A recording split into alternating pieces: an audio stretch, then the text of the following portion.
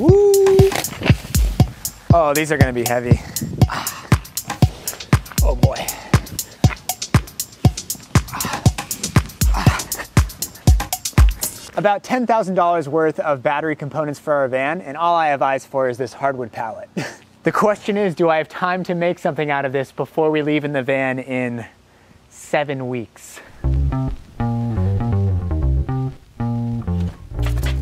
You know what? I think we can turn this into a pretty sweet piece of furniture for the van. Let's take this thing apart.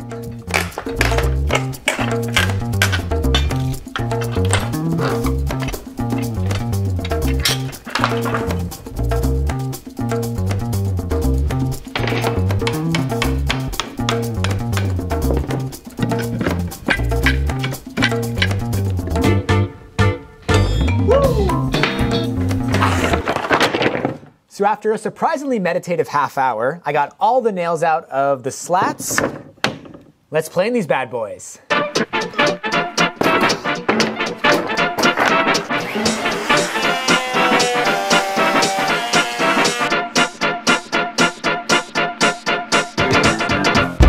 This might be the coolest pallet wood I have ever come across. A lot of it has this really cool pink hue. I have no idea what species of wood this is, so if you know, let me know in the description. I'm 90% sure it's hardwood, just because the grain is really tight and it's not very splintery. It's a lot heavier than a softwood pallet. I think this is gonna make a pretty sweet desk. To make my desk, I wanna cut these slats into strips. Now, finding a flat edge on pallet wood is next to impossible, so I need to create a flat edge that I can reference. Now, I don't have a jointer, but I do have this jointing jig that I made for my table saw.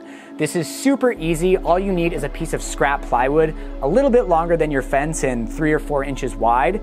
You make a cut the width of the saw blade kerf, but stop before you get all the way through, and then flip that board around.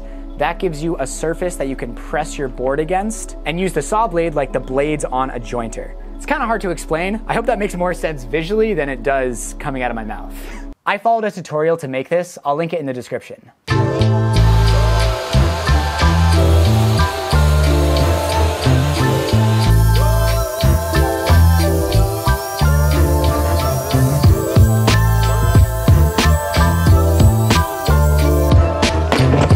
Even though it might look like the next day, it's actually been about two and a half weeks since I last touched this project. And you might be thinking, hmm, that's weird considering you have to move into the van in less than a month. But Eden and I had to take a bit of a break from building so we could get married. And then once the wedding festivities were over, we really started feeling the crunch time on the build. So we switched gears to some of the more basic infrastructure projects. We put down our luxury vinyl plank flooring. I got back to work building out the inside of the cabinets.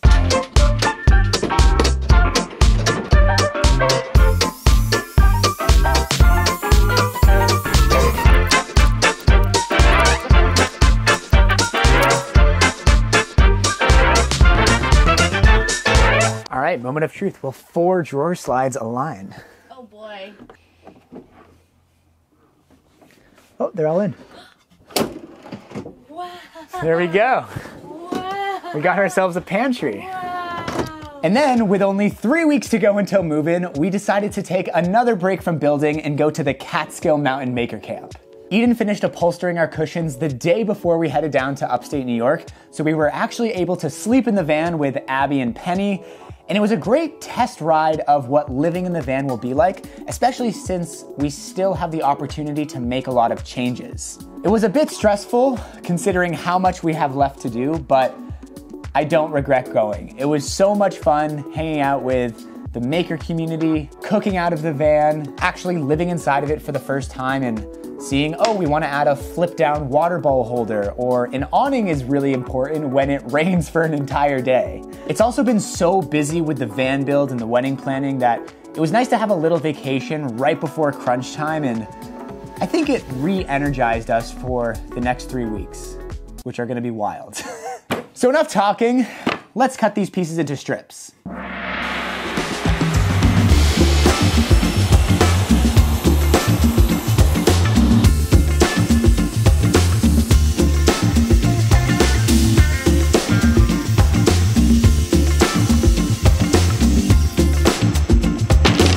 Right, so here is my haul. We lost a few pieces that were splintered or just too far gone to salvage, but I think this should be enough to make a comfortable sized desk. Let's stack them up and see.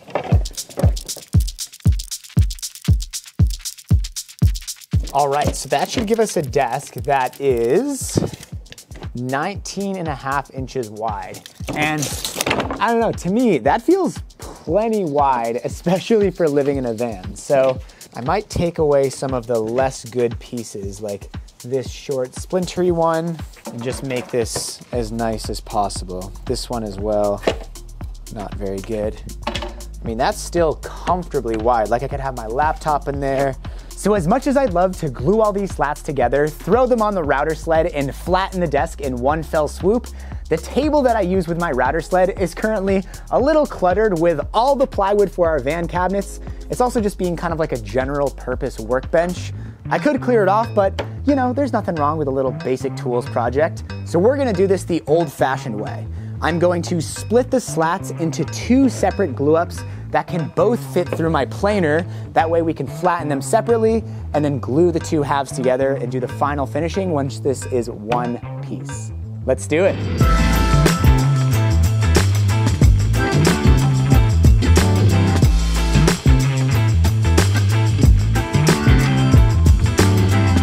These glued up panels are looking great. I love the variation of color. I spent a lot of time arranging the slats so I have a nice striping effect. And now I need to plane these down smooth and to the same thickness. I have to be careful though because these are already pretty thin. To get enough width to build a comfortable desktop, I had to rip each slat down to only 7 8 inch wide, and I don't want to go too much thinner than that for the tabletop. We are in a van, so limiting weight is a good thing, but if this is too thin, it won't feel very nice and you start to worry about strength. So my goal is to do just a few very light passes through the planer. It's easy to get carried away once your pieces start feeling smooth and close to finished, but we gotta keep that under control.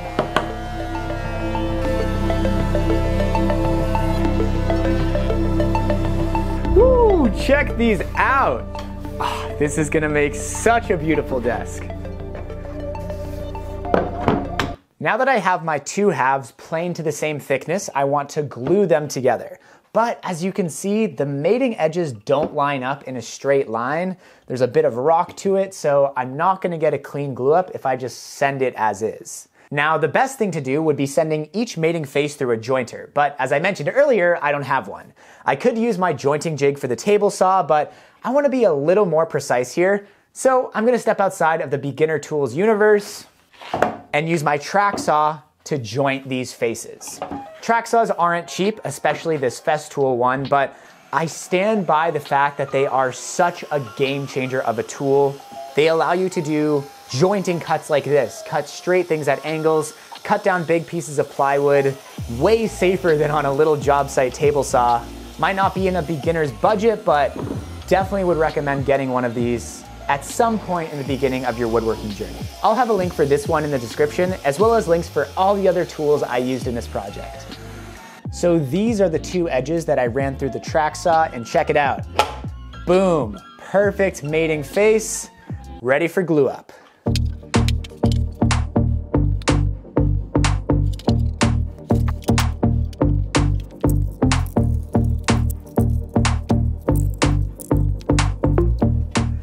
So this is where the desk is gonna go. I have one of these Lagun table mounts so it can swivel out of the way. And as you can see, it's a little too big at the moment. We're gonna have the 3D printer right here. Also, can we just take a second and admire Eden's beautiful upholstered cushions? This is so comfy. I'm so stoked to like work here. All right, anyways. so this is definitely too long. Um, I think at maximum, it should be the length of the cushion. I can cut it down and then retest it. So I might err on the side of bigger. I think this bench is like 31 inches wide. All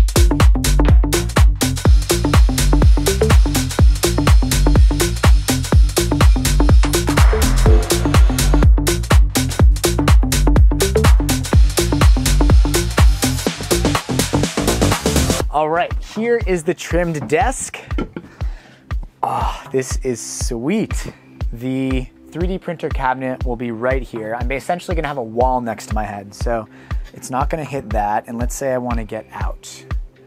I can rotate this out, get out nice and easy. That goes in and we still have the whole alleyway that we can walk. We bring it out, rotate around. Easy to come in. Boom. All right, let's start finishing.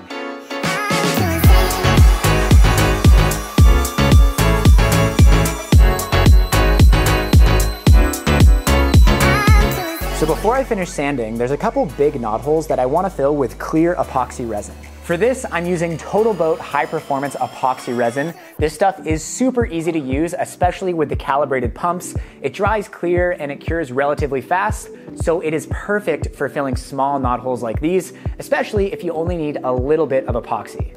Total Boat is also the sponsor for this video, so check out the link in the description for a discount.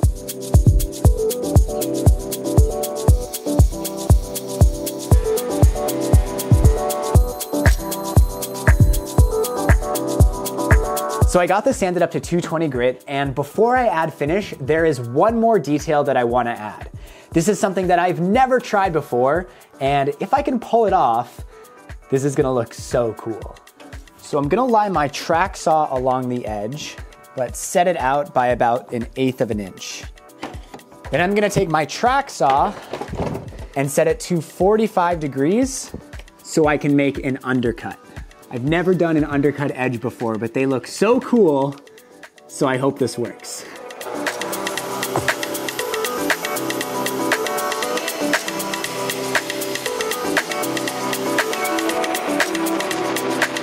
Woo, that looks awesome.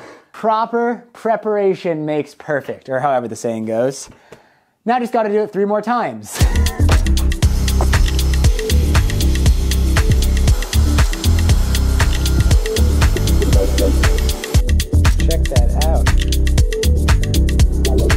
I'm gonna finish the desk with Total Boat Halcyon Clear. This is our go-to clear varnish for the van build because it is marine grade, super rugged, and easy to apply.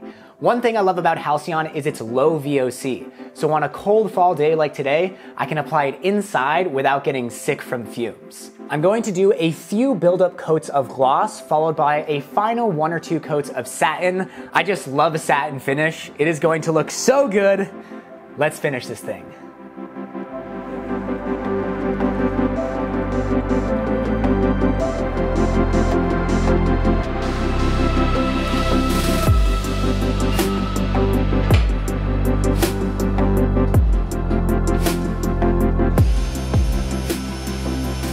Now you might be thinking that the title of this video is clickbait. Am I seriously saying that this simple table is my dream desk? This simple table made from a pallet with no LEDs, no hidden outlets, it's just strips of wood glued together. This is my dream desk? But to me, this is not just a desk. As we're about to embark on this van journey and change our entire lives, this is a reminder of what allowed me to turn YouTube into a full time career. One of my first videos that blew up and really legitimized this channel was turning a free pallet into a $550 desk, a very similar design as this one, and I never made one of those desks for myself. This is a reminder of how far I've come, how success can really come from the most unexpected places. But perhaps more importantly, ever since I started making YouTube videos, the setting of where I worked was so important. You know, I've set up a pretty nice home studio, but the longer I work in there, the more I feel myself drawn to go edit in a local cafe. And this desk in our van that we'll be using to travel around North America will truly allow me to work from anywhere. In case you're wondering, it's currently October 21st. We're moving out of our apartment in 10 days.